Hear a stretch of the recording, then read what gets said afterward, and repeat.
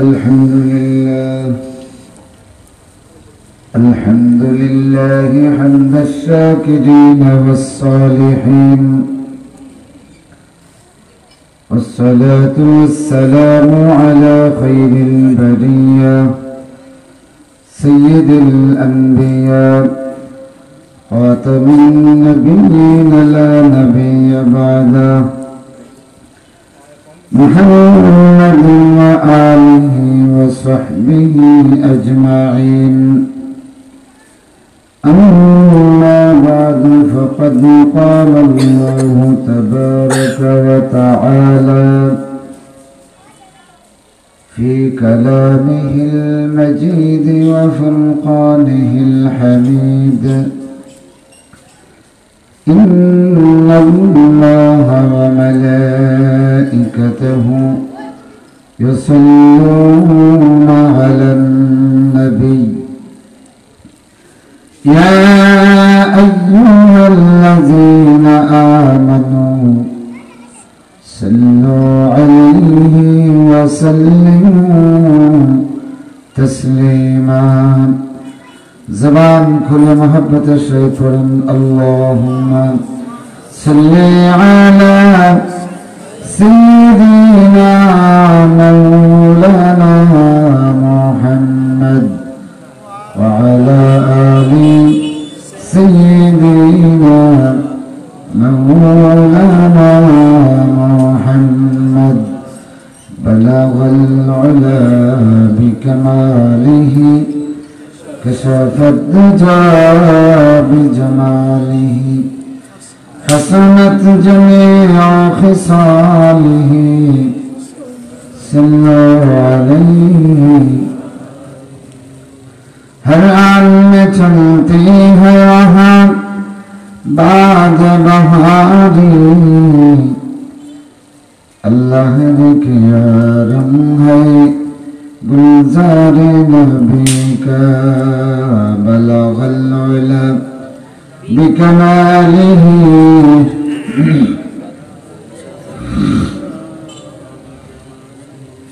حسنت جميع خصاله. صلوا عليه. دنياك وليومه. اسكن معاصي دنياك کے ولیوں میں نہیں اس کا مماثل جو حال ہے دنا کفش بلدار نبی کا بلغ العلم بکماله كشف الدجى بجماله حسنت جميع خصاله. صلى الله عليه وآله. أعوذ بالله من الشيطان الرجيم. بسم الله الرحمن الرحيم. اتبع ما أوحي إليك من ربك. لا إله إلا هو. وأعرض عن المشركين. ولو شاء الله ما أشركوا وما جعلناك عليهم حفيظا وما أنت عليهم بوكيل. ولا تسبوا الذين يدعون من دون الله فيسبوا الله فيسبوا الله عدوا بغير علم. كذلك زينا لكل أمة عملهم. ثم إلى ربهم مرجعهم. ثم إلى ربهم مرجعهم فينبئهم بما كانوا يعملون.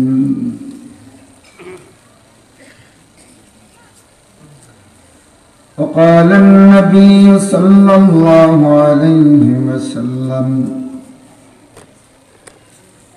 إن هذا القرآن حبل الله المتين. وهو النور المبين. والشفاء النافع وعقد لمن تمسك به ونجاة لمن تبعه. أو كما قال عليه الصلاة والسلام وقال النبي الأعظم سندي وسند العلماء المحدثين. الإيمان بدع وسبعون شعبة. فأفزلها قول لا إله إلا الله. لا إله إلا الله. গলা ছেড়ে আওয়াজ দিয়ে পড়ুন লা ইলাহা ইল্লাল্লাহ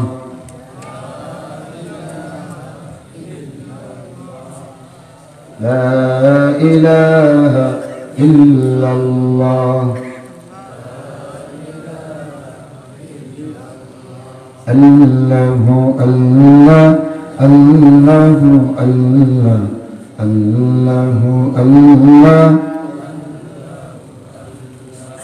হৃদয়ের জানালা খুলিয়া এখন এসো আল্লাহর নামে তসবি জপি মন। আল্লাহর নামে তসবি জপি মন। আল্লাহ আল্লাহ আল্লাহ আল্লাহ আল্লাহ আল্লাহ। আবেগের সব দ্বার খোলে এখন আল্লাহর নামে তসবি জপমন আল্লাহর নামে তসবি জপমন আল্লাহ আল্লাহ আল্লাহ আল্লাহ আল্লাহ আল্লাহ। لا إله إلا الله محمد رسول الله মানিকগঞ্জ দারুল কোরআন হাফিজিয়া মাদ্রাসার উদ্যোগে আয়োজিত বার্ষিক এনামি জলসার মজ্জাজ মুকরম সাহেব সদর উপস্থিত ওলামা, ফুজালা, আইম্মা, হুফাজ, তুলাবা, সম্মানিত মুরব্বিয়ান, নজওয়ান ভাইয়েরা, পেশাজীবী বন্ধুগণ, পর্দার আড়ালের সম্মানিত মা বোনেরা।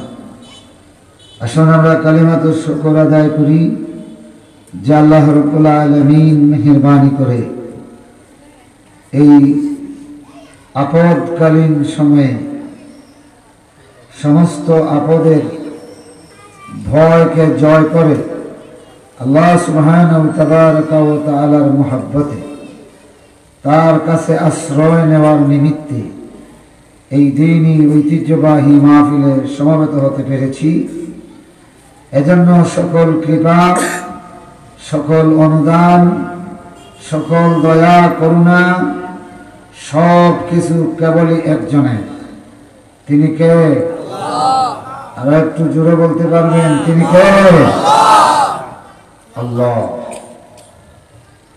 যার নামে আমরা সব বিলিয়ে দিতে পারি।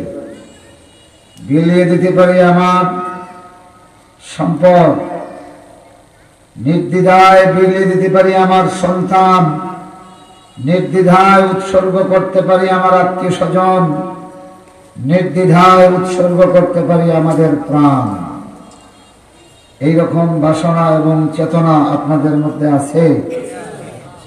তিনি হলেন কেবলই আমার রাজ্জাক, আমার রহমান তাম কায়নাতের মালিক, আল্লাহ তাবার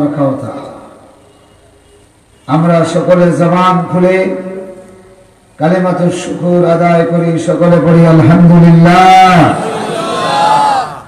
আমি এই আত্রাফের জনগণ, মাদ্রাসা কর্তৃপক্ষ এবং প্রশাসনকেও শুক্রিয়া জানাই। প্রশাসন চাইলেই এই করোনার অশিলা দিয়ে এই মাহফিলটা বন্ধ করতে পারতেন। তাই না? তো ওনারা এটা করেন না অবশ্যই কোরআনের মহব্বত আছে, দিনের মহব্বত আছে। আল্লাহ তাদের এই মহব্বতকে আরও বাড়িয়ে দিন সকলে পড়ুন। আর আপনাদের কৃতজ্ঞতা জানাই, যেখানে এই আপদকালীন সময়ে মানুষ মসজিদ থেকে আল্লাহর নবীর সুন্নতকে তাড়িয়ে দেওয়ার উপক্রম হয়েছে। হারমান শরীফাইনে আজান হয়েছে, একামত হয়েছে, কিন্তু সালাত নেই। রসুল্লাহ সাল্লাহ আলহি ওয়াসাল্লামার একখানা হাদিস কেয়ামতের পূর্বেকার আলামতের মধ্যে একটা কথা আছে। আল্লাহ নবী এরশাদ করেছেন যে খারাপ ও মক্কা ও মদিনা। মক্কা মদিনা হেদায়ত শূন্য হয়ে যাবে। অনেক ব্যাখ্যা দেখেছি, কিন্তু তারপরেও বারবার মনে হতো সেটা কীভাবে। এই করোনার আপদকালীন অবস্থা, এটা আমার বুঝে আসলো। রসুল্লাহর কথা কত সত্য সুভান তার মানে মুসল্লি রেস্ট্রিক্টেড রসুল্লাহাম সালাতের মধ্যে সফ বান্দার যে কায়দা, যে তরিকা, যে সুন্না জারি করেছিলেন, হরমান শরীফ আইন থেকেই সেটাকে বাহির করে দেওয়া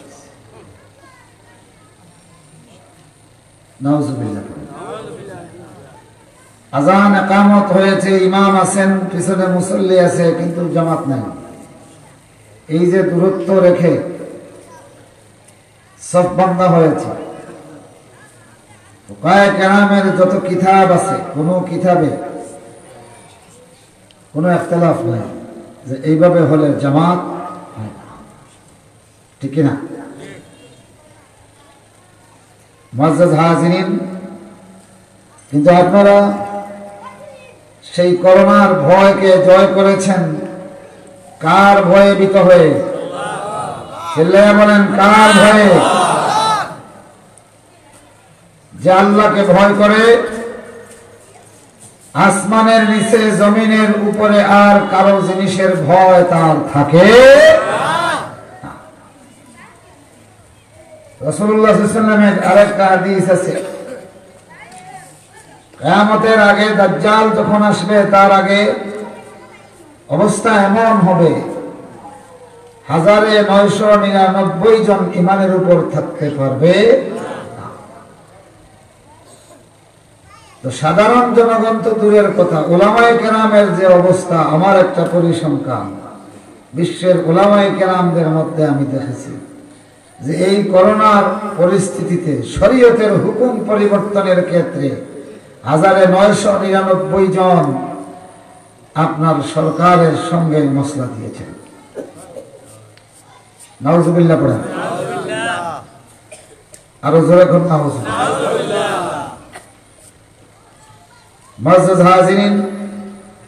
মনে রাখবেন একটা কথা।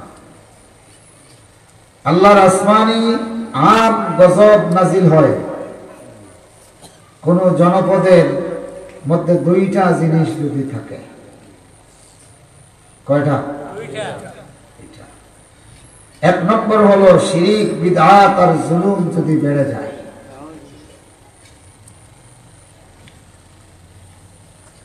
কথা বুঝেছেন? আর তবা ইস্তেফার যদি কমে যায়। তাইলে বাড়ে কোনটা? শিরিক, বিদাত, জুল। এটা বাড়বে। তবা ইস্তেফার কমে যাবে। এই দুই জিনিস যখন কোন জনপদে আম হয়ে যায়, তখনই আল্লাহ বড় ধরনের গজব নাজিল করে এখন আপনারা বলেন এই যে আম গজব যেটা আসলো করোনা। বর্তমান পৃথিবীতে শিরিক বাড়তেছে না কমতেছে?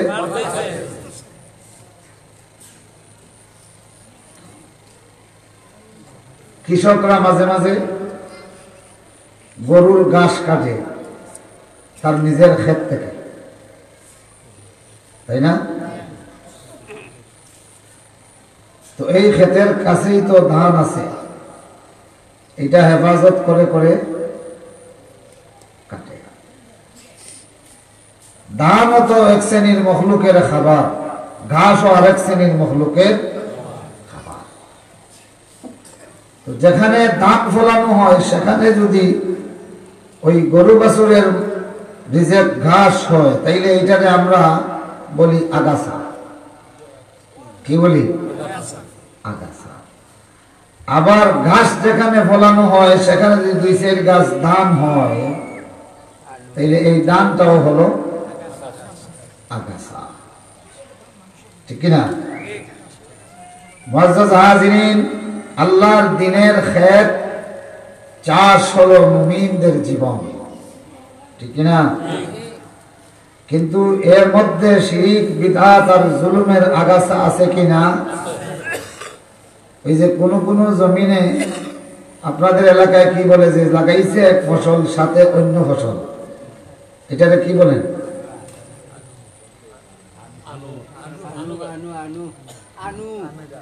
বুঝছেন নাকি লাগাইছেন আপনি? ইরি। মাঝে মাঝে ফাইজনের। এটার নাম কি? আমরা আমাদের এলাকায় বলা হয় ষাট।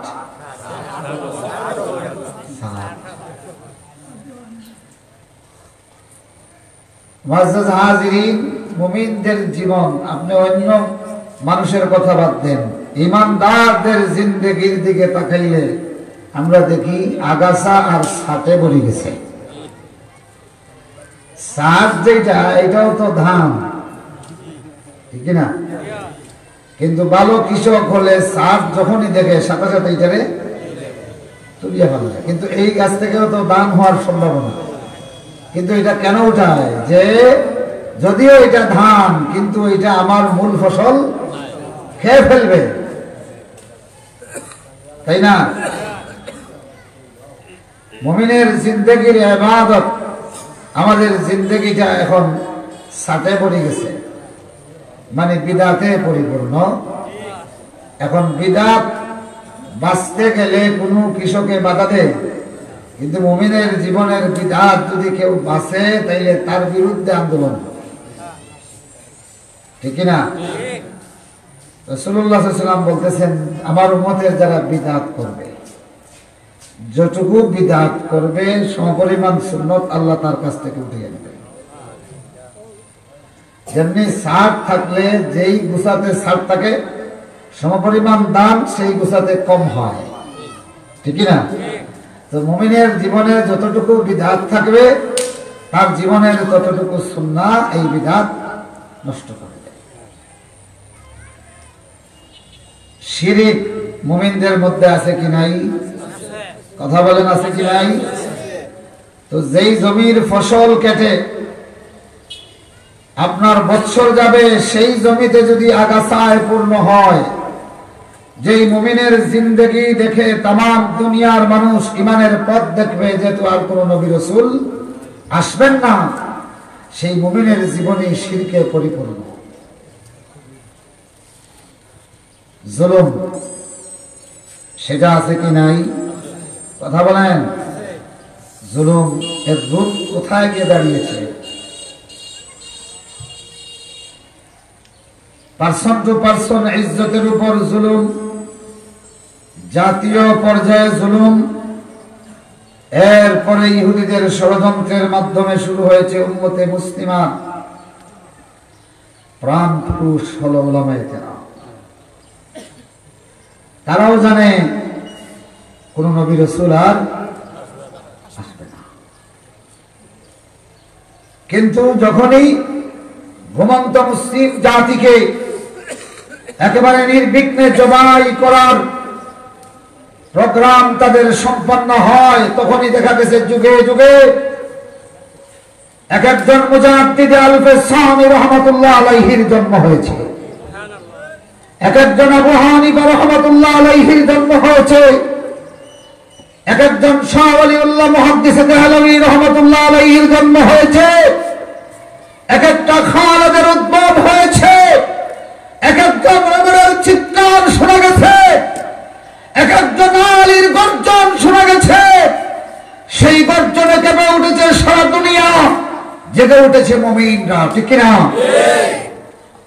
মুসলিমকে বারবার জাগিয়ে তুলেছে এই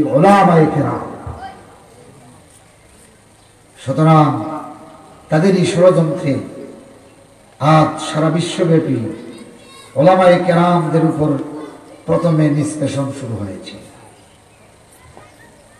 এইটাতে যখন তারা সফল হয়েছে, এবার হাত দিয়েছে স্বয়ং মোহাম্মদুর অপমান করা, উদ্যোগ নেওয়া হয়েছে। এতদিন সেটা ছিল বিভিন্ন সংস্থা, বিভিন্ন ইজামের উত্তরসূরি, বিভিন্ন পত্রিকা, বিভিন্ন জ্ঞান, আর এখন শুরু হয়েছে রাষ্ট্রীয় উদ্যোগে। যেমন এটার মডেল হলো ফ্রান্স, তাই না? মজাজ হাজিরিন, বর্তমান পৃথিবী অসভ্যতা আর বাক স্বাধীনতার নামে ইত্রামির কেমন পর্যায়ে গিয়ে পৌঁছেছে? এ দুনিয়ার মুসলমান জুলুমে জুলুমে নিষ্পেষিত এই বাংলাদেশের ওলামাই কেরাম, এদের ফরিয়াদ লোহার শিকলের মধ্যে শুধু বন্দী নয়। এই ফরিয়াদ সাত আসমান পাড়ি দিয়ে আর শাহিম পর্যন্ত অবশ্যই পৌঁছে গেছে। আমার ভাইরা, সিরিয়ার ওলামাই কেরাম, ফিলিস্তিনের ওলামাই কেরাম, ইরাকের ওলামাই কেরামের এক বিন্দু রক্ত আল্লাহ মিথা যেতে দিবে না ইনশাল্লাহ আমরা হয়তো নীরব দেখেছি। এক শ্রেণির আলিম যে অপর শ্রেণির আলেমদের দুর্ভোগ আসতেছে। কিন্তু আজ মোহাম্মদুর রসুল্লাহ সাল্লাহ ওসাল্লামের ইজ্জতের উপর হামলা করে তাম দুনিয়ার মুসলমানের কলিজায় আগুন লাগানো হয়েছে। সুতরাং তফরিক আর তনভীর বিভক্ত হয়ে থাকার সময় আর এখন নাই। জেগে উঠতে হবে, জেগে উঠতে হবে, মদিনার নিনাদ শুনে, জেগে উঠতে হবে আল্লাহর ডাক শুনে, জেগে উঠতে হবে রসুল্লাহ সাল্লাল্লাহু আলাইহি সাল্লামের ইমানের চেতনায়। রাজি আছেন আপনারা? আমার ভাইরা, আমার বন্ধুরা, এই প্রক্রিয়া এটা একদিনে হয় না। এগুলি হলো তাদের দীর্ঘ শত বৎসরের কাজের ফলাফল। জুলুম বাড়তেছে, ঠিক না শিরিক বাড়ছে, তারপরে বিধাত বেড়েছে।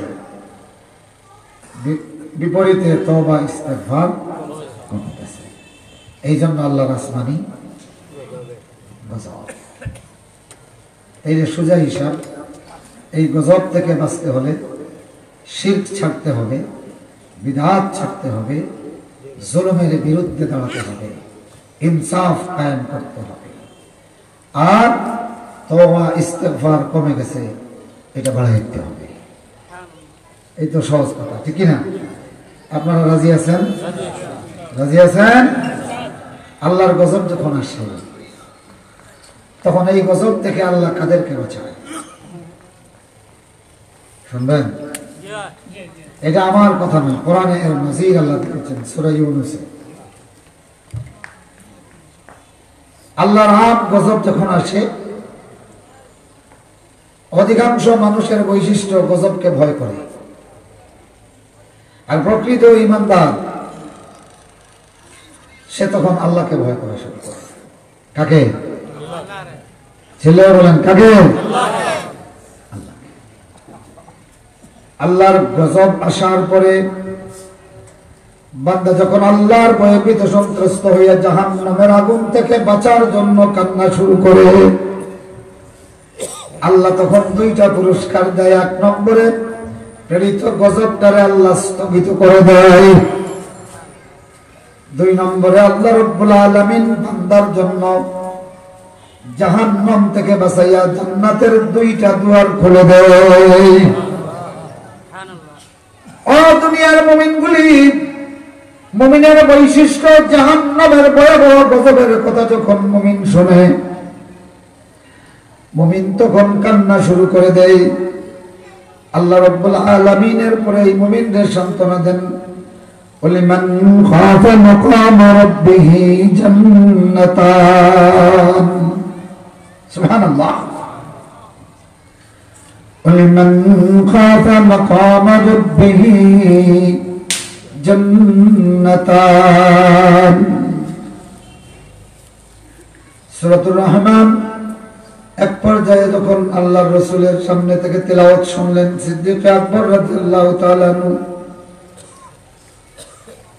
ويعرف المجرمون بسيماهم فيؤخذ بالنواصي والأقدام সিদ্দিক আকবর রাদিয়াল্লাহু তাআলা আনহু কানতে কানতে তার শরীরের মধ্যে কম্পন শুরু হয়ে গেছে নিঃশব্দে কান্নার ঢেউটা ঢেকুর হইয়া যখন বাহির হওয়া শুরু হলো অসহ্য যন্ত্রণা, কাতর বসে গেলেন। তারপরে কান্না শুরু করে দিলেন। কানতে কানতে মাটির সঙ্গে শয্যাশায়ী হয়ে গেলেন। আল্লাহর জাহান্নামের একটা মাত্র আয়াত শুনেছেন মাত্র। يعرف المجرمون بسيماهم فيؤخذ بالنواسي والأقدام পাপিষ্টদেরকে কেয়ামতের ময়দানে তাদের চিহ্ন দ্বারা পরিচয় করা হবে তাদেরকে এই চুলের মধ্যে ধরিয়া আর কদমের মধ্যে ধরিয়া জাহান নামের চালান করে দেওয়া হবে শুধু তাই নয় তাদের প্রতি নির্দেশ দেওয়া হবে ফাকুজু খুজু ফাগুল্লু ثم في سلسلة ذرعها سبعون ذراعا فاسلكوه ধরো ধরো এদেরকে বেড়ি লাগাও শিকল পরাও তারপরে সত্তর গজ লম্বা জিঞ্জিরে বান্ধ আগুনে পোড়ানো হয়েছে জাহান নামের আগুনে। সেই লোহার জিঞ্জিরে বান্ধা হবে। এরপরে জাহান নামের টানা শুরু করো।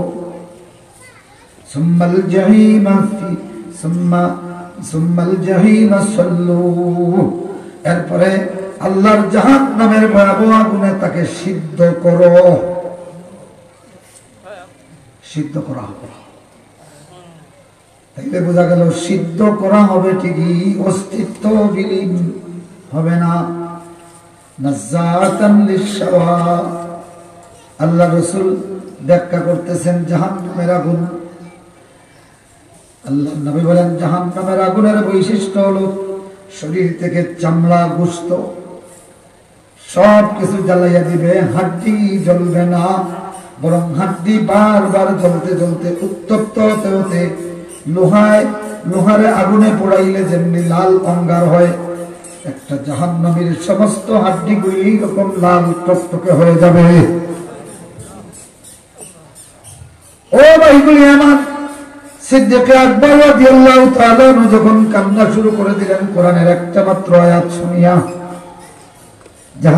ভয়ে আল্লাহর কাছে কান্না শুরু করে দিলেন। আল্লাহ তো বলতে পারতেন, ও মুমিন, ও আবু বকর, আমি তোমাকে জাহান্নাম থেকে বাঁচাইয়া দিলাম। এটা না বলিয়া আল্লাহ খাফা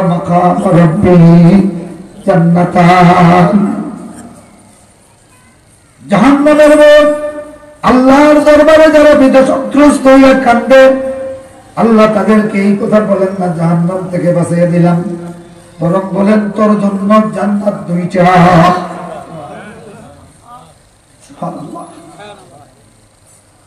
দুনিয়ার মুমিনগুলি কিয়ামতের ময়দানে অনেক মানুষ।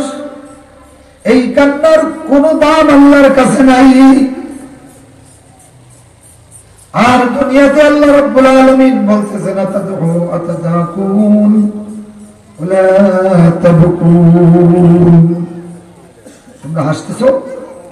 এখনও কাঁদলে না? আতাদাকুন তাবকুন সুতরাং এই করোনা মহামারী থেকে বাঁচতে হলে যিনি বাঁচাইতে পারেন, তার কাছে আশ্রয় নিতে হবে। ঠিক কিনা? তিনি কে? ছেলে বলেন তিনি কে? কৌমে ইউনুস। আল্লাহর গজব এসে গেছে। টপ টপ করে বৃষ্টি পড়ে শুরু হয়ে গেছে। আকাশ কালো মেঘে ঢেকে দিয়েছে। প্রচণ্ড জড়ো হাওয়া হওয়া শুরু হয়ে গেছে। কৌমে ইউনুস তখন ইউনুস তালাশ করে। এর আগে তিনি হিজরত করেছেন। এবার কৌমে ইউনুসের মানুষগুলি সিজদায় পড়িয়া কান্না শুরু করে। আল্লাহ তোমার গজব এসে গেছে। এইটা থেকে তো বাঁচার কোনো উপায় নাই। তবে তার আগে আমরা আরেকটা বিপদ থেকে তোমার কাছে পানা চাই। আল্লাহ মৌতের আগে আগে আমরা ইমানদার হয়ে গেলাম। তবে এই বিপদে তো আমাদের ধ্বংস হয়ে যাবে, কিন্তু জাহান্নাম দিয়ে আমাদেরকে ধ্বংস করিও না। আল্লাহ তোমার জাহান্নামের শাস্তি থেকে বাঁচতে চাই। আল্লাহর গজবাসার পরে বান্দা যখন জাহান্নামের বিপদ থেকে বাঁচার জন্য কান্না শুরু করে আল্লাহ তখন স্থানীয় বিপদটারে উঠাইয়া দেয়। সুতরাং এই করোনা থেকে বাঁচতে হলে রসুল্লাহর সুন্নত ধরতে হবে, না ছেড়ে দিলে চলবে। নামাজের মধ্যে সফ সফবন্দি হয়ে গায়ে গা বাহুতে বাহু লাগাইয়া নামাজ পড়া। এটা কার সুন্নত? ছেলে বলেন, কার সুন্নত? রসুল্লাহ সাল্লামের একটা আদনা সুন্নত যদি কেউ মহব্বতের সহিত গাইল ডাক দিয়ে আঁকড়াইয়া ধরে প্রথম পুরস্কার আল্লাহ পাক তাকে ইহকালের অনেক গজব থেকে হেফাজত করে সুবহানাল্লাহ। ছেলে বলে, "ইয়ার ইমাম সাহেবগুলি মসজিদের মিম্বরে বসিয়া কত ফেরাউনের ওয়াজ করলাম আল্লাহর গজব দেখার পরে নীল সমুদ্রের ফেরাউন আল্লাহর জিকিরের মজলিস বানাইছে, ঠিক কিনা? আর তুমি আল্লাহর গজব দেখিয়ে সরকারের আইনের ভয়ে তোমার মসজিদের রসুলের সুন্নত মুক্ত করে ফেললা। গজব আসবে না যাবে? চিল্লায় বলেন, গজব আসবে না যাবে? এখন বলবেন যে আপনার ভয় লাগে না? অনেকে আমাকে তখন বললেন, একটা লাইভ দেন আমি বললাম, না ফেসবুক এটা অনেকটা বাস স্ট্যান্ডের মতো বাস স্ট্যান্ড বুঝেন তো? এখানে দেখবেন, যেমন প্রিন্সিপালেও হাঁটে পিওনেও হাঁটে ফেরিওয়ালাও আছে, এবার সিএস ডাক্তারও আছে, ঠিক কিনা? তাছাড়া পরিবেশ মনে করি নাই। কিন্তু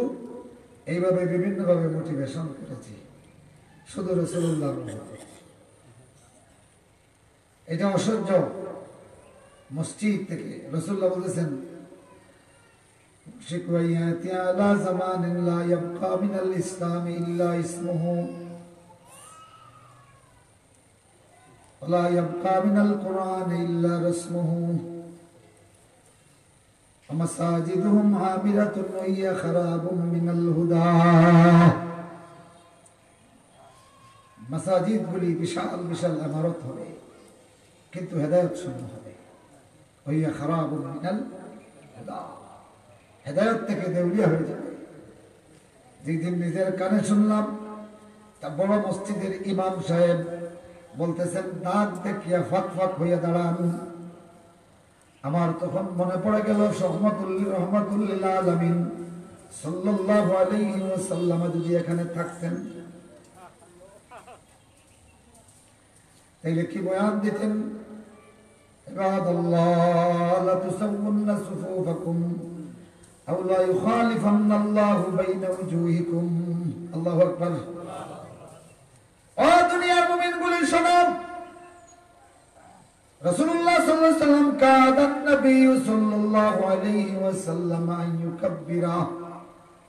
একদিন আল্লাহ নবী তাকবীর দেওয়ার উপক্রম হয়ে গেছেন ইমামতে।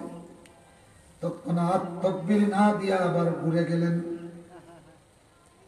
ঘুরিয়া বললেন, ইবাদাল্লাহ লাতুসাউন্না সুফুফাকুম আও লা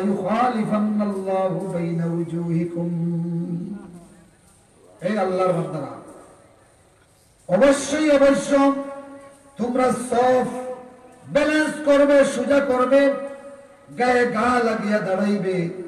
যদি না দাঁড়াও তাহলে আউলা ইউখালিফান্নাল্লাহু বাইনা উজুহিকুম, তোমাদের চারা আল্লাহ দুনিয়া আখেরাতে বিগড়াইয়া দিবে। আল্লাহ আল্লাহ, কত বড় ধমক! আল্লাহ নবী বলেন আমার সাহাবীরা, ওয়াইন্নি লা রাকুম মিন বাইনি ইয়াদাইহি ওয়াইন্নি লা রাকুম মিন খালফি কামা রাকুম মিন বাইনি ইয়াদাইহি ও ইমাম সাহেবরা, কত মাহফিলে, কত মসজিদে, কত জমায় তুমি এই হাদিস পড়লা, বয়ান দিলাম রাসূলুল্লাহ সাল্লাল্লাহু আলাইহি সাল্লাম নামাজের সফটা ঠিক করতেন কীভাবে? কানাত নবী সাল্লাল্লাহু আলাইহি ওয়াসাল্লাম ইউসাব্বি সুফুফানা নওমান ইবনে বশির রাদিয়াল্লাহু তাআলা আনহু থেকে রওয়ায়াত كان النبي صلى الله عليه وسلم يسوي صفوفنا فيمسح مناكبنا فكأنما يسوي القداح أو كما قال عليه الصلاة والسلام তিনি বলছেন রসুল্লাহ আমাদের সব ঠিক করতেন নিজে হাঁটিয়া নিজে হাঁটিয়া কি? এইভাবে ফোনাতে ধরতেন হনা বুঝুননি হনা? এটা কিতা হইল? হনা? বাজু? নেনি? বাহু। হাত থাকলে দুইজনের বাহুতে দরিয়া চাপ দিয়া নিমিলাইয়া দিতেন। মনে হতো যেন দনুকের তীর সোজা করতেছেন একদিক থেকে একজনের গাড়ের দিকে তাকাইলে একেবারে সব শেষ পর্যন্ত গাড় এক সমান আল্লাহ আল্লাহ। এত কিছু করার পরে রসুল্লাহ এখন তো কিবলামুখী হয়ে গেছেন এরপরেও রসুল্লাহ তো ওনার দেখা না একটু। আল্লাহ রসুল এরপরে বলতেছেন সতর্ক বাণী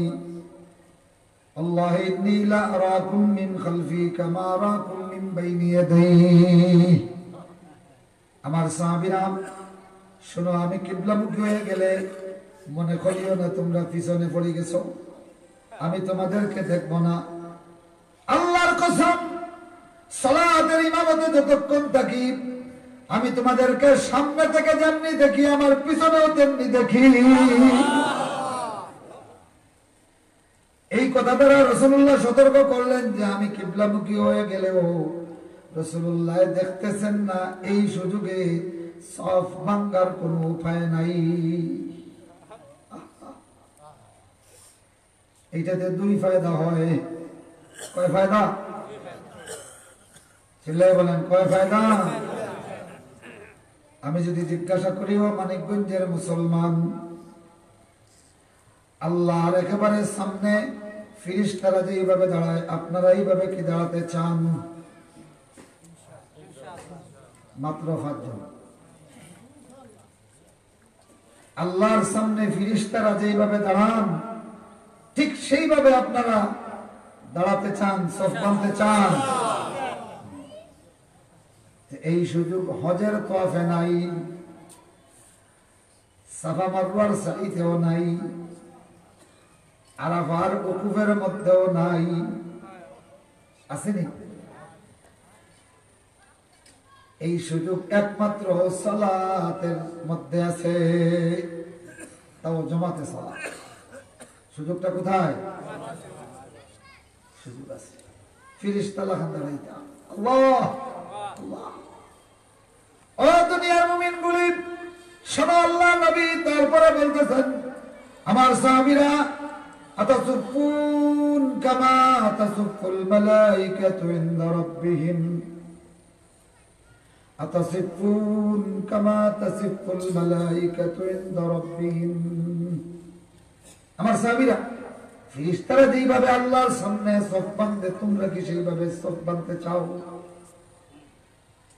তো সাহাবায়ে কি অস্বীকার করবেন?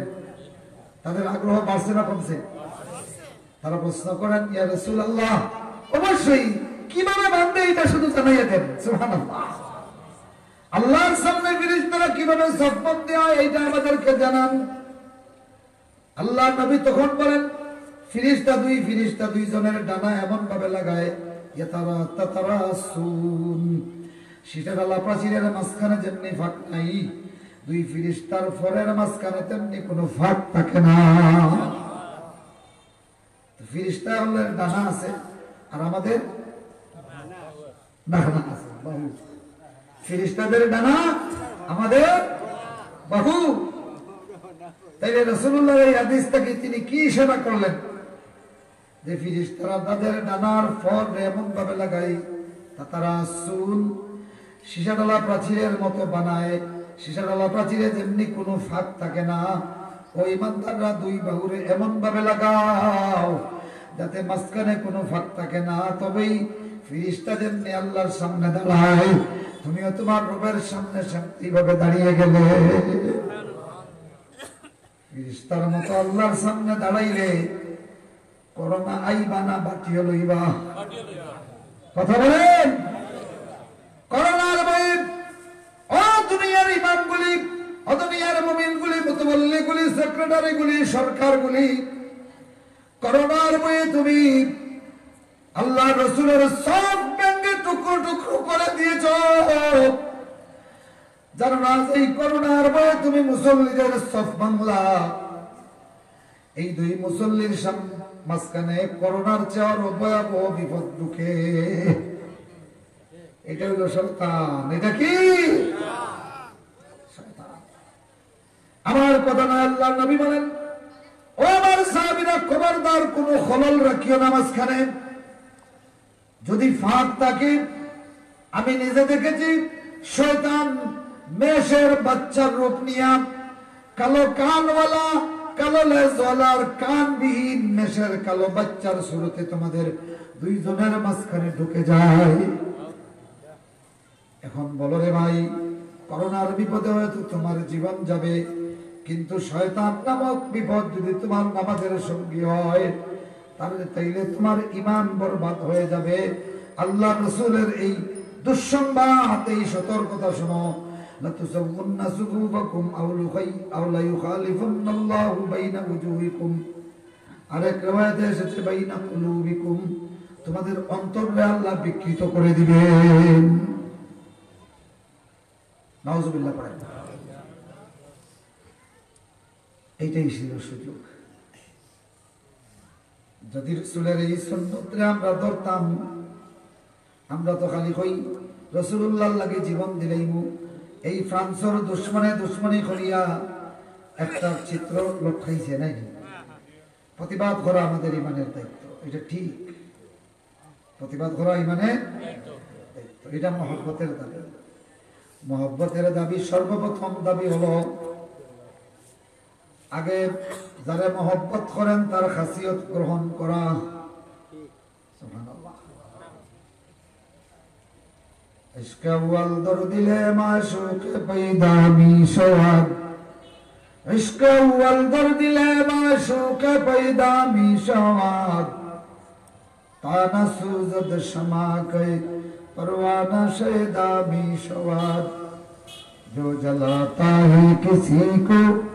वो भी जलता है जरूर। जो जलाता है किसी को, वो भी जलता है जरूर। शमा भी जल जाती है पर न जल जाने की बात।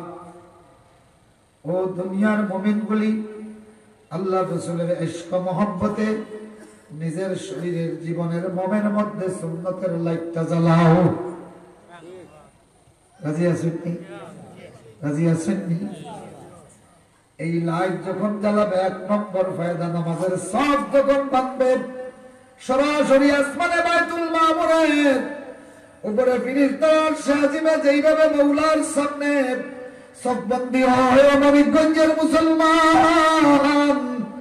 তোমার মসজিদের সব যখন সেইভাবে হয়, ওইটার ওইটার মধ্যে শুধু পার্থক্য থাকে, এইটা ফিরিস্তার সব আর এইটা মানুষের কিন্তু দুইটাই সরাসরি আল্লাহর সামনে হয়ে যায়। সব এইভাবে দিদারে মৌলা হয়। কি হয়? আল্লাহর সাক্ষাৎ হয়। এইভাবে নামাজের মধ্যে সববন্দি হলে আল্লাহর সঙ্গে লেখা হয়ে যায়। বান্দায় আল্লাহ তো সবকিছু সবরে দেখেন নামাজে যখন বান্দায় এইভাবে দাঁড়ায় তখন বান্দায় নিজের তাকে আল্লাহর সঙ্গে মোলাকাত করে আল্লাহ রব্বুল আলামিন বলেন মান আহাব্বাল লিকা আল্লাহি আহাব্বাল্লাহু লিকাআহু ومن كره لقاء الله كره الله لقاءه في الدنيا والآخرة سبحان الله যে কেয়ামতের দিন আল্লাহর সঙ্গে মোলাকাত চায়, আল্লাহ পাকেও তার সঙ্গে মোলাকাত পছন্দ করেন। সুবহানাল্লাহ। তো কেয়ামতের ময়দানে যে আল্লাহর সঙ্গে মোলাকাত করে পছন্দ করে দুনিয়াতে, এইটা সালাতের মাধ্যমে সে দেখায়।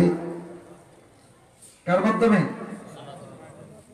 আর দুনিয়াতে আল্লাহর সঙ্গে মোলাকাত যে পছন্দ করে না, এইটাও সলাতের মাধ্যমে। সলাতে এরাজ করে সলাত বাদ দিয়া। কথা বুঝেছেন? দুই নম্বর ফায়দা এইভাবে সফ বন্দি হইয়া যখন বান্দায় নামাজ পড়ে, লিকায় মৌলা যখন হয়, যার লিকায় মৌলা হয়ে যায় আল্লাহ নবী বলেন, মালাকুল মৌত দেখার সাথে সাথে দুনিয়ার কাফের মুজরিমিন বেঈমান গুলি পলায়নের চেষ্টা করে আর লিখায় মৌলার সুযোগ পাইয়া ইমানদার। তখন সে মালাকুল মৌত্রে মারহাবা দেওয়া শুরু করে। আল্লাহ মারহাবা আল কাসিদে তৈয়ার মা। মারহাবা আল কাসিদে তৈয়ার মা। মিদহি হরদম খবর আজিয়ার মা। হুদুদে বরখন্দ ফাল মরহবাই তুতিয়া শুকরে মকাল। আল্লাহু আকবার। ওলিল্লাহিল হামদু ওলিল্লাহিল হামদু মুরদনা রসিদে বদস্ত। আফরি বাদ ফরি হিম্মতে মুর্দা নাইমা খুরমা রুজ কাজী, মঞ্জিলে পীরাহ রমন না হতে যাত লবম ওসপায় জানা বেরুম আল্লাহ আল্লাহ! ও ভাইরা আমার কবি বলে, মালাকুল মত দেখিয়া বলে, মারহাবা কাসিদা তৈয়ার মা। বিদহি হরদম খবর জিহার মা।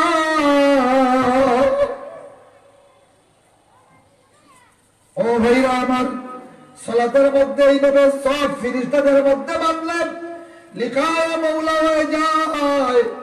আর দুনিয়াতে যার লিখায় মৌলা হয় মালা মৌল মৌত দেখিয়া কয়, ও আমি তৈয়ার সব।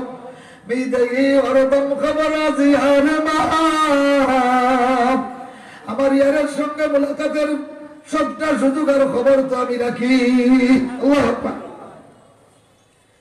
শেষ রজনীতে আল্লাহর এই বান্দা বলে আজমে দিদারে তুদারম জানে বরুল বামদা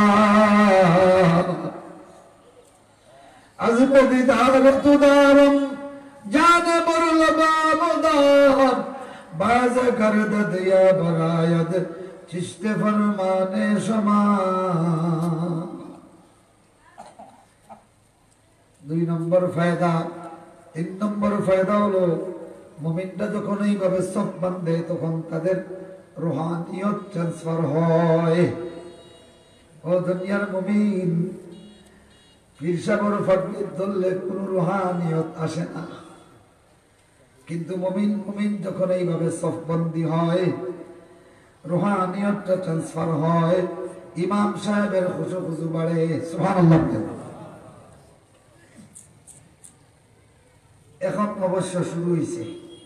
করোনার বয় গেছে। কিন্তু আল্লাহর বয় যতক্ষণ পর্যন্ত আইছে না, ততক্ষণ পর্যন্ত করোনার বয় পরিপূর্ণ যাবে না। সতর্কতা থাকা বিভিন্ন ক্ষেত্রে সুন্নত। কিন্তু সতর্কতার সুন্নত মানতে মানতে গিয়া নমাজের সুন্নত ছাড়িচ্ছে। কথা বুঝছেন মাথার টিউমার, অপারেশন করতে করি টিউমারও কাটি গেছে এখন সতর্ক ডাক্তার করি এমন সতর্ক ডাক্তারে কইছে মুখ দিয়ে কিচ্ছু খাবাইও না। ঔষধ ছাড়া। বেটা কইছে যে না, আর ঔষধও খাইতাম না। কইছে নি? বেমার সম্ভাবনা বাড়বো। সম্ভাবনা বাড়বো। একটা প্র্যাকটিক্যাল উদাহরণ দিই। আমার মহল্লায় আমি, আমার মুসল্লিদেরকে গ্রামে, আমি এই বিষয়টা বুঝাইছি। এখন কইলাম যে জীবনের বয়ে করোনার বয়ে রসুল্লাহর সুন্নত যদি ছাড়ি দেব জিয়াদর ডাক পড়লে রসুল্লাহর ইস্কে খোঁজন থাকবে রসুল্লাহর একটা সুন্নত নামাজও যদি পালন করতে পারব না। আলহামদুলিল্লাহ আমার মসজিদের মুথল্লি সভাপতি, সেক্রেটারি সব একমত যে যেতাও হইব।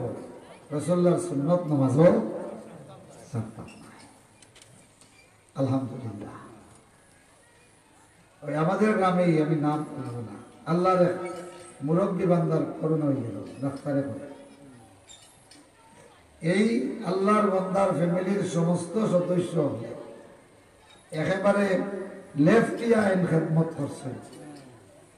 মাত্র তিন দিন না চার দিন পরে তানও কমে গেছে, বাকি হয়েছে শেষ পর্যন্ত আমি চিন্তা করলাম, এটা শুধুমাত্র এই মহল্লার মসজিদ রসুল্লাহ সাল্লাহ সাল্লামের একটা সুন্নত রে চিন্তা করার কারণে আল্লাহ পাকে এই মুসিবত রে এই মহল্লা থেকে দূর করছে।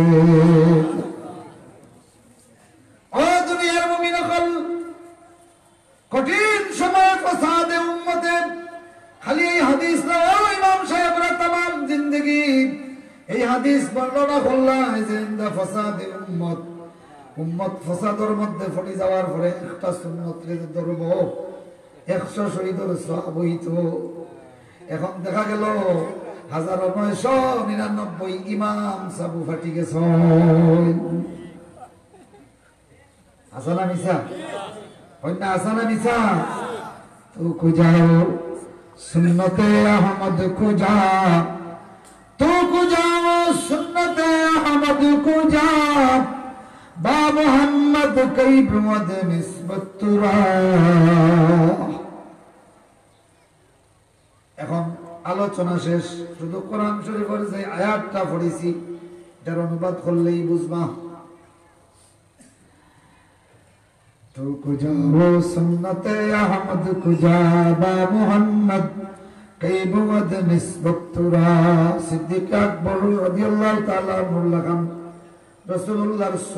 ধরনেওয়ালা ওইতানি। কারা দেখে হাত উঠাই এই ধরনের মানুষ কম হইলেও চলে। শক্ত করে হাত উঠাও। হাত। আপনাদের কষ্ট হয়েছে? আনন্দ লাগতেছে? কেন? যে রসুল্লাহ সুন্নত লাগে হাত খান। সিদ্দিক আকবর রাদিয়াল্লাহু তাআলা সুন্নতরে কীভাবে কদর করতেন? তিনি যেদিন খলিফা হলেন বড় বড় দলিলুল কদর সাহাবীরা পরামর্শ দিলেন। চতুর্দিকে বিদ্রোহের আওয়াজ, মদিনার উপর বড় ধরনের হামলা হওয়ার সম্ভাবনা। এমত অবস্থায় ওসামা ইবনে সৈয়দ রাদিয়াল্লাহু তাআলা নেতৃত্বে যে বাহিনী, এটা এখন আপাতত স্থগিত রাখা দরকার। সাহাবায়ে কেরাম এই পরামর্শ দিয়েছেন, দিনের স্বার্থে না ক্ষতি লাগি? এরা এটা তাদের ইস্তেহাত, এটা গলত নয়। কিন্তু সিদ্দিক আকবর রাজি আল্লাহ হেলান দেওয়া ছিলেন। এইভাবে লাভ দিয়ে উঠেছেন। টুটে কাবা শুরু হয়েছে। চার লাল হয়ে গেছে আর বললেন, ও মদিনার আনসার আর সাহাবিরা, ও মদিনার আনসার আর মুহাজিররা এই মাত্র তিন দিন হলো না তোমরা আমার নবী মোহাম্মদ রসুল্লাহ ভুলে গেলে নাকি?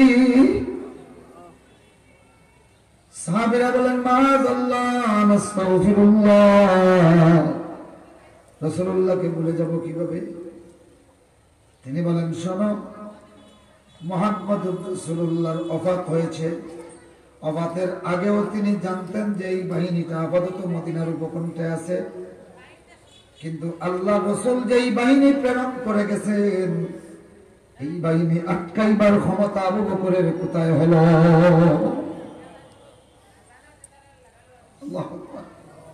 রসুল্লাহ যেই বাহিনী ছেড়েছেন, এই বাহিনী স্থগিত করার ক্ষমতা আমি আবু বকরের নাই। এইটার নাম হলো আল্লাহ রসুলের সুন্নতকে আপনার আদ্রাস দিয়া গাইল দাঁত দিয়া ধরা। সমস্ত সাহাবাই কেরামের হুশ ফিরে আসলো, আসলেই তো ঠিক। কার বাহিনী আমরা স্থগিত করব?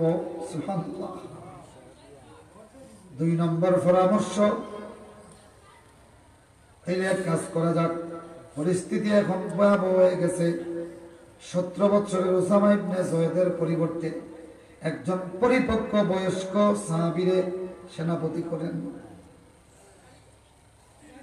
সিদ্দিক আকবর রাজি আল্লাহ মুদর দর করে কেটে দিলেন। বললেন, এত বড় দুঃসাহস তোমরা কোথায় পেলে? শোনো, আমি আবু বকর, খলিফা হয়েছি, তোমাদের মনোনীত খলিফা। কিন্তু উসামা ইবনে আমার নবীর মনোনীত সেনাপতি। উসামা ইবনে জয়েদ আমার নবীর মনোনীত সেনাপতি।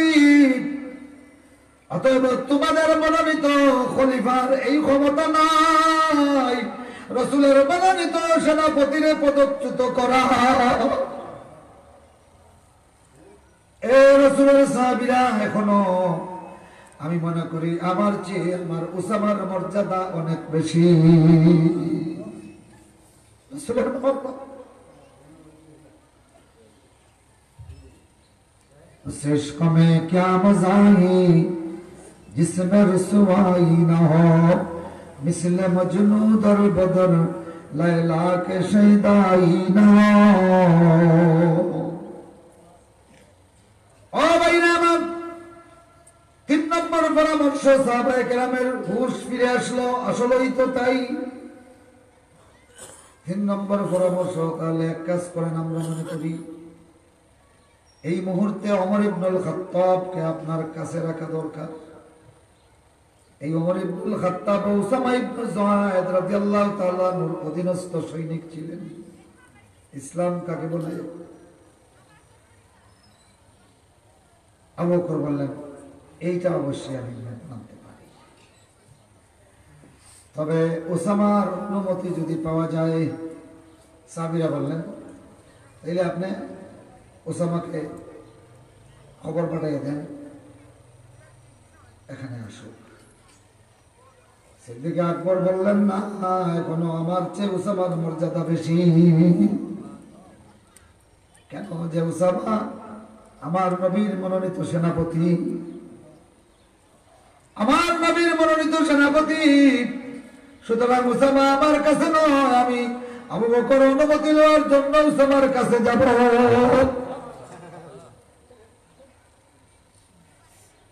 ও দুনিয়ার মানুষ, সিদ্দিক এই কাজের মাধ্যমে আল্লাহ কেয়ামত পর্যন্ত তাম দুনিয়ার ইমাম মুয়াজিন মুতবল্লি সেক্রেটারি, সভাপতি তাম দুনিয়ার মুমিনদেরকে নজির দেখাইয়া দিলেন যে রসুল্লাহর সুন্নত আর সিদ্ধান্ত রে কীভাবে গাইল দাঁত দিয়া ধরা লাগে। তো সাহাবাই গ্রামের ইস্তেহার ঠিক ছিল। বৈশাখ মাসের জড়ো হওয়ার মতো মদিনার দিকে চতুর্দিকে ঝড় ছিল। রসুল্লাহ রফাতের সংবাদ পাইয়া চতুর্দিকে বিদ্রোহের আগুন ছড়িয়ে পড়েছে। কাফির বেইমানরা অনেক উৎসাহিত হয়েছে। দুর্বল মরা মোনাফিকগুলি তখন বিশাল উৎসাহিত। কিন্তু আল্লাহ রসুলের এই ছোট্ট সুন্নতটা ওপর ধরার কারণে এত বিশাল বিপদরে আল্লাহ দূর করিয়া দিলেন মদিনাও নিরাপদ। উসামা ইবনু রাদিয়াল্লাহু তাআলা বিজয়ী। এ ও কানাইঘাটের ও দুনিয়ার বাংলার ইমামগুলি, আল্লাহ রসুলের এক সুন্নত গাইডার দিয়ে ধারণ করার কারণে উসামা ইবনে সাদ বিজয়ী নিরাপদ। আজকে অন্তত মসজিদে রসুলের সুন্নতকে গাইল দাঁত দিয়া ক্রয় ধরো। আমার আল্লাহ কিছুদিনের ভিতরে তাম দুনিয়ার বিজয় মুসলমানদেরকে দিবে। আল্লাহর পক্ষ থেকে বিজয়ের ফয়সালা হবে। রসুল্লাহর সুন্নতকে আদ্রাস দিয়ে ধারণ করতে হবে। রাজি আছেন আপনারা? কারা রাজি দিকে হাত উঠান? আলহামদুলিল্লাহ। সাহাবি থেকে শুনলেন, আল্লাহ বলতেছেন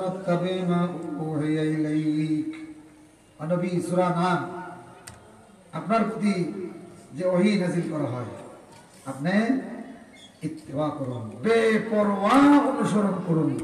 এই ব্যাপারে কারও পরোয়া করবেন না।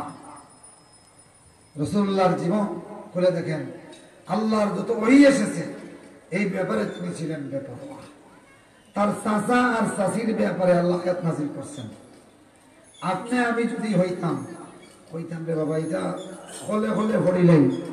আমার চাচা আর চাষির ব্যাপারে এখানের জনগণের সাথে তিলাওয়াত করিয়েন না। তাব্বাত ইয়াদা আবি লাহাব। এরা খে রাসূলুল্লাহ, চাচা, চাচি নেন আমরাতুহু হাম্মালাতাল হাতাব। في جيدها حبل من مسد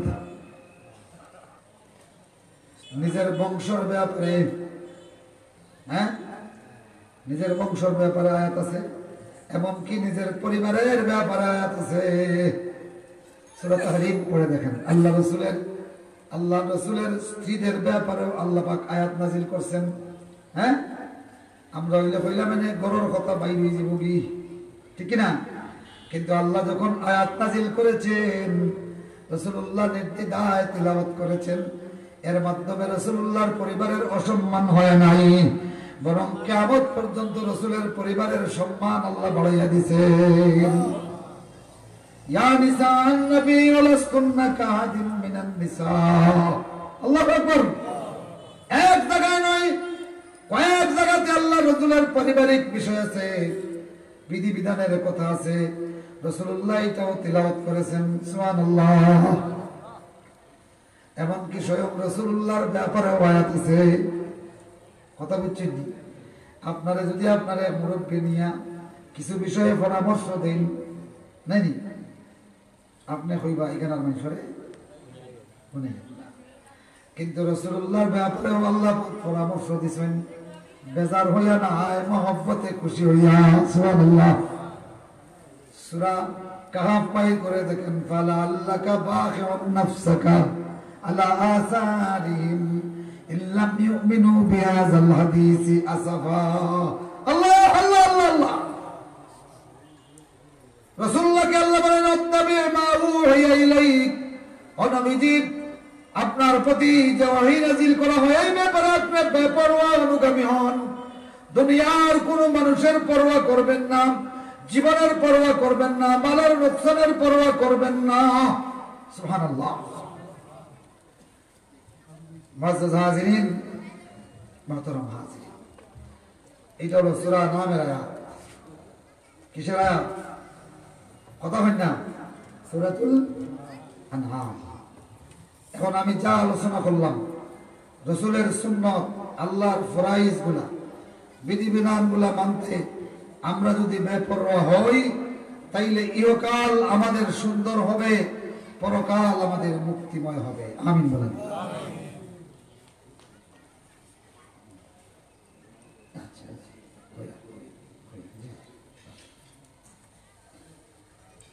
আমার কথা শেষ দিকে এসে যাচ্ছে। ইনশাল্লাহ করা সূরাতুল আনআম। ছয়টি আয়াত ছাড়া বাকি সবগুলি মদিনায়। ছয়টি আয়াত মদিনায়, বাকি সবগুলি মক্কায়। এবং আমার ইচ্ছে ছোট করে তো কইলাই কে তখন ইব্রাহিম তো এই শহরের বাদশাহ নমরুদ বিশাল ধাপট এবং সেই একমাত্র ব্যক্তি সর্বপ্রথম সে দুনিয়ার মানুষকে তার আবাদতের জন্য ডাক দিয়েছে এটাই প্রথম তা তার একদিন খাপ দেখল, ইবনু আব্বাস। খাপ দেখল যে আকাশের সূর্য আর চন্দ্র। আলো বিলীন হয়ে গেছে। একটা তারকার উদয় হওয়ার কারণে। এমন আজব খাপ দেখে পরের দিন তার কিছু রাষ্ট্রীয় গণক ছিল, রাষ্ট্রীয় জাদুকর ছিল, এদেরকে ডাকাইছে। খাপ বলেছে। তারা খাবের তাবিদ করে বলেছে যে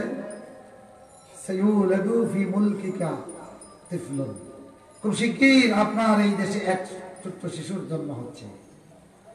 যার জন্মের মাধ্যমে চন্দ্র সূর্যের আলো বিলীন মানে আপনার বাদশাহী খতম। আপনার মুলকিয়ত শেষ, আপনার পাওয়ার শেষ হবে, আপনার ধ্বংস নমরুদের এখন ঘুম নাই। নির্দেশ জারি করে দিল যে এখন সন্তান সম্ভব যত মা আছে, সবগুলি মাকে আজল করো গর্ভ খালাস করো, খালাস করা আইন জারি করে দিল হায়েজের পবিত্রতার দশ দিন পর্যন্ত কোন স্বামী আর স্ত্রী মিলতে পারবে না। এরপরে আরেকটা উদ্যোগ নিল যে বিবাহিত সম্ভব যত মহিলা বিভিন্ন এলাকায় এই মহিলাগুলিকে একয়ার করল, তার স্বামী থেকে বিচ্ছেদ রাখার জন্য। আর নবজাতক চা ছিল সবগুলাকে হত্যা করল। ঠেকাবে কি সেই দেখা আকাশের তারকা ঠিক না أنه رأى كوكبا أنه رأى كوكبا يذهب ضياء القمر والشمس আকাশে উদিত তারকা দেখলো যেই তারকার আলোর কারণে চন্দ্র আর সূর্যের আলো বিলীন হয়ে গেল আল্লাহর আসমানের নিচে চন্দ্র সূর্য দেখা যায় না সেই শিশুর জন্ম, ঠেকাবে নমরুদ। আজর ছিলেন রাষ্ট্রীয় পুরোহিত, একেবারে বৃদ্ধ। তার বালাখানার এবং জওয়ারের যারা সবাইকে তার কাছে নিল, বন্দি করা হলো। আজর গেলেন একদিন, বুড়া বেটা, খুব বালা সম্পর্ক, যে একটা বার আমার স্ত্রী শুধু দেখি। তো দেখতে গেলেন, সুযোগ পেয়ে ফলার কারণে সুযোগ বুড়া বেটার মিলামিশা হয়ে গেল কি? মা ছিলেন ইব্রাহিম খলিলুল্লাহর মা ছিলেন বয়সে খুবই তরুণী। আল্লাহ রব্বুল আলমিন ওই রজনীতেই খলিলুল্লাহ ইব্রাহিমের নসলটা পৌঁছাইয়া দিলেন মায়ের গর্বে। পরের দিন কাহমান বলে নমরুদ। এত উদ্যোগ নিয়েছ, কিন্তু আত্মিবুলু কাদ সে তার মায়ের গর্বে তার অস্তিত্ব এসে গেছে।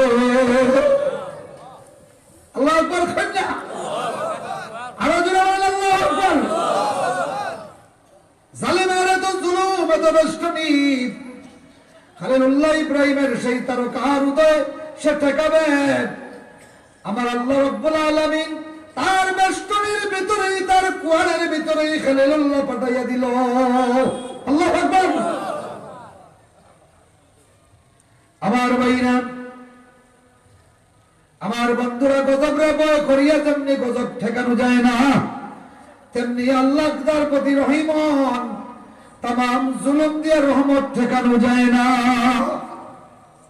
এই কথা বিশ্বাস করেন? করেন তো ইনশাল্লাহ খলিল্লাহ ইব্রাহিম লম্বা কাহিনী প্রায় পাঁচ পৃষ্ঠা। খলিলুল্লাহ ইব্রাহিম এর মায়ের মুক্তি অবস্থা এমন হলো তরুণী মা। কিন্তু তার উদরের দিকে তাকাইলে গর্ব মনে হয় না। এবার তার জন্মের সময় হলো। ও একটা পাইছি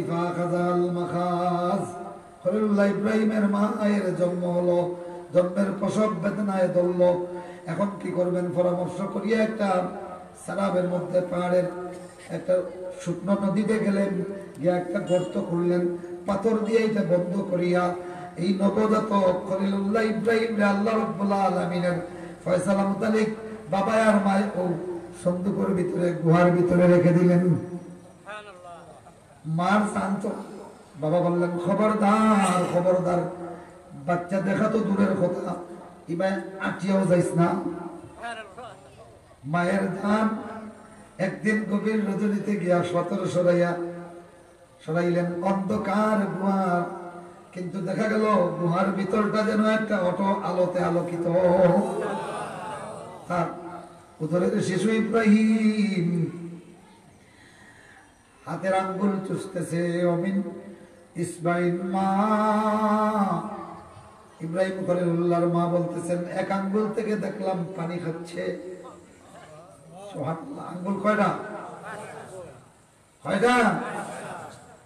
আমার আমার বাচ্চার এক আঙ্গুল চুষতেছে, সেখান দিয়ে পানি বাসতেছে পানি লাবানা এই যখন চুষে, তখন দেখলাম মায়ের দুধের মতো দুধ আমার বাচ্চার মুখে যাচ্ছে।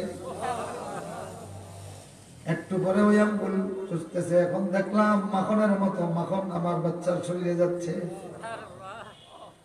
এই আঙ্গুল চুষতেছে, এখন দেখলাম মুসাফা স্বচ্ছ মধু আমার বাচ্চার পেটে যাচ্ছে। আর কনিষ্ঠ আঙ্গুল যখন মুখে দেয়, দেখলাম অত্যন্ত সুগন্ধি, সবচেয়ে দামি খেজুরটা আমার বাচ্চার মুখে চুষতেছে। আঙ্গুল কয়টা? এক আঙ্গুলে পানির নহর আর এক আঙ্গুলে দুধের নহর, আরেক আঙ্গুলে মাখনের নহর আরেক আঙ্গুলে মধুর নহর আরেক আঙ্গুলে খেজুরের গাছ। আল্লাহ আল্লাহ নবী বলেন, যার কারণে খলিলুল্লাহ ইব্রাহিম একদিনে যে বাইর দিয়েছেন এক মাসের একদিনে? আর এক মাসে তার এক বৎসরের। সুমান আল্লাহ বলেন সুমান আল্লাহ এখন চোদ্দ বৎসরের একটা টকবুকে যুবক মহিলা তিনি গুয়া থেকে বের হয়েছেন সুবহানাল্লাহ। কয় বৎসরে? আরও দূরে কয় বৎসরে? চোদ্দ বৎসরের টকবুকে তরুণ গুয়া থেকে আইছেন। এখন আর ফেরাউন নম্রতা হইতে পারব নি ইগু সাত দিন আগর বাচ্চা। কথা হয় না? ইগু তো সত্য বছরের আগে। আল্লাহ আল্লাহ ومكروا ومكر الله والله خير الماكرين পড়েন ومكروا ومكر الله والله خير الماكرين معزز হাজিরিন মোহতরম হাজিরিন খলিলুল্লাহ ইব্রাহিম এবার প্রথমেই লড়াই শুরু করলা দাওয়াত দেওয়া শুরু করলা, আল্লাহ বলেন আরাইনাহু আমরা দেখাইছি তানে ওয়াল আরদ ইব্রাহিম রে, আসমান আর জমিনের মালাকুত দেখাইছি, সুবহানাল্লাহ সুবহানাল্লাহ।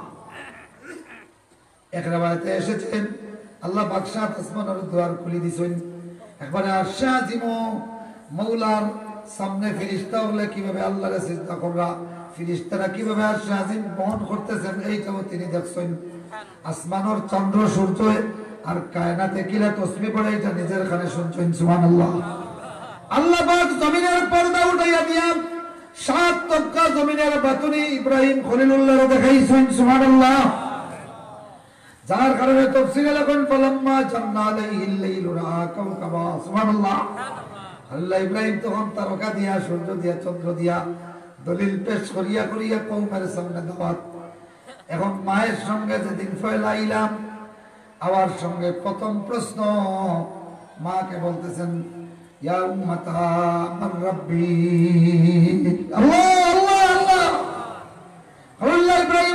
থেকে মা প্রথম প্রথম প্রশ্ন, ইয়া উম্মাতা, ওমান রব্বি?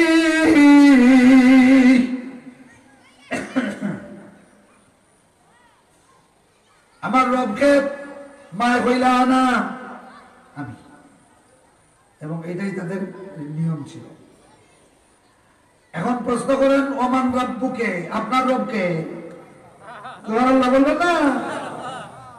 ইব্রাহিম খলিলুল্লাহ, আঙ্গুল চুচি সৈনিক আঙ্গুলে আল্লাহ, পানি আল্লাহ, দুধ আল্লাহ, মাখন আল্লাহ, আপনার আল্লাহ খাইছেন। ই বেটার জেহেন আল্লাহ কিতা দিছে উম্মতে মোহাম্মদ রে আল্লাহ ইব্রাহিমের ওলাদ তোর উপরে কুয়াত এটা খাইছেন।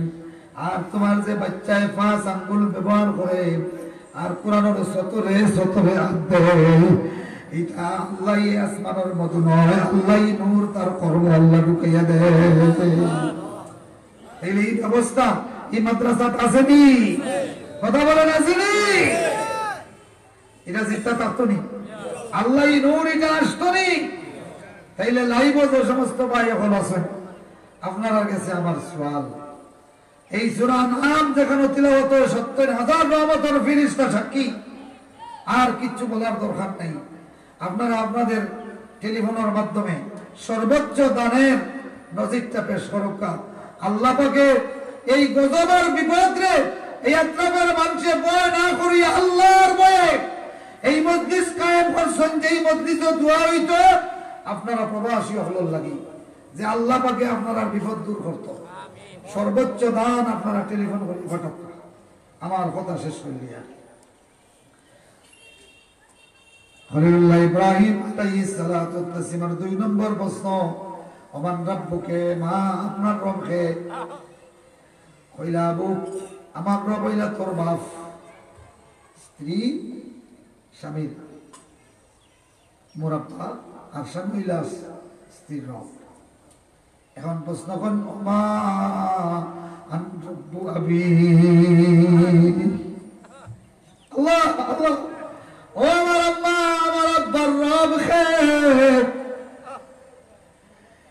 এখন বললেন, মা। আমি জিজ্ঞাসা করে আছি তারপরে গিয়ে বললেন, তোমার পুত্র আমারে প্রশ্ন করছে এই পর্যন্ত তিনটা।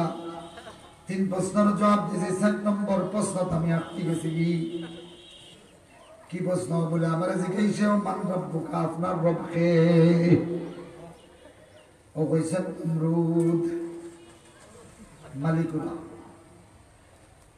গিয়া কইছেন অমরুদ হই লাগে তোমার বাপর রব?